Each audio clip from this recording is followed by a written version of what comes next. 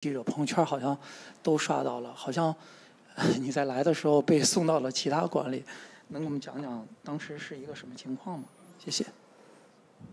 嗯，其实就是当时训练安排了两台车，然后我是坐到后面那一班，因为第一班的时候人已经坐满了，不是坐满了，是站满了，就是站都站不下了。